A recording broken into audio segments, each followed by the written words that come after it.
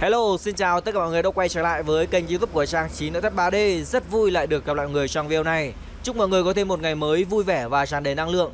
Chắc hẳn là rất là nhiều hộ gia đình đang sống trong những cái không gian ẩm mốc và bong chóc Nhưng mà không biết lý do đâu mà nó lại như vậy. Thì ở trong video này mình sẽ nêu ra ba nguyên nhân chính dẫn đến tình trạng tường nhà của các bạn luôn bị ẩm mốc và bong chóc. Và nếu như anh chị các bạn đang ở nguyên nhân nào trong ba nguyên nhân trên Hãy để lại dưới phần bình luận này để mình có thể giải đáp được những cái thắc mắc cũng như là những cái nguyên nhân đấy cho anh chị các bạn kịp thời nhất để anh chị các bạn có thể khắc phục và trong quá trình em chia sẻ video này, anh chị thực sự thấy hay đến anh chị.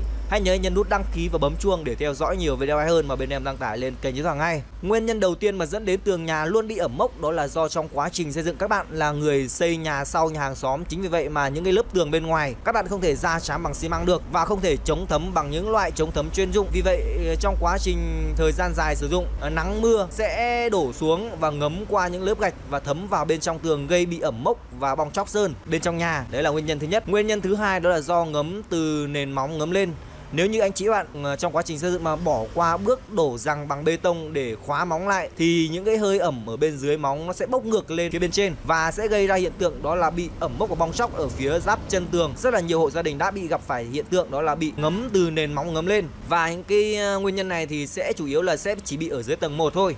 Và nguyên nhân thứ ba đó là nguyên nhân do thời tiết khí hậu nồm ẩm. Đó là sẽ uh, tụ hơi khí lại hơi nước lại và sẽ bị ám vào tường.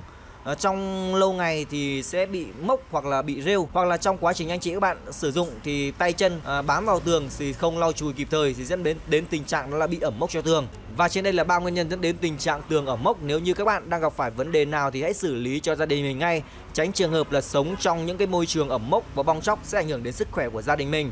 Và một lần nữa, xin chúc tất cả anh chị và các bạn có phút giây xem video thư giãn và vui vẻ. Xin chào và hẹn gặp lại mọi người trong video tiếp theo. Xin chào.